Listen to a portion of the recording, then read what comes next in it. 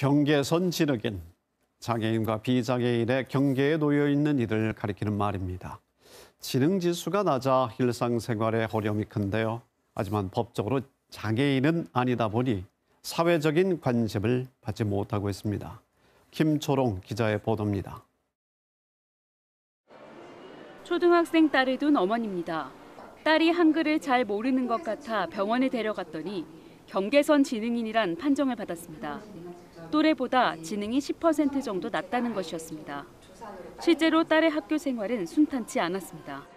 집에 와갖고 엄마 나 바보야 이렇게 물어보고 이러면 마음이 너무 아프죠. 대화에 못 끼고 이렇게 돼버리니까 그런 또래 관계 문제도 엄청 크게 경계선 지능인들이 겪는 대표적인 어려움은 한글 해독입니다.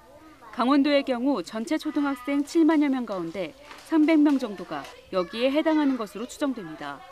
그렇지만 이들의 문제는 겉으로는 티가 안 나기 때문에 주위의 도움을 받기 힘듭니다.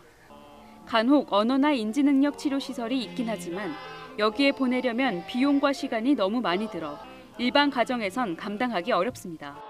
적어도 10세가 넘어가게 되면은 우리가 문자 습득의 어떤 가능성들이 점점 좀더 어, 희박해집니다. 결국 학교로부터 멀어지는 중도 탈락 또는 사회 부적응 이런 일들이 이 때문에 경계선 지능인의 가족들은 청와대 국민청원을 내는 등 경계선 지능인에 대한 지원을 제도화해달라고 요구하고 있습니다. KBS 뉴스 김초롱입니다.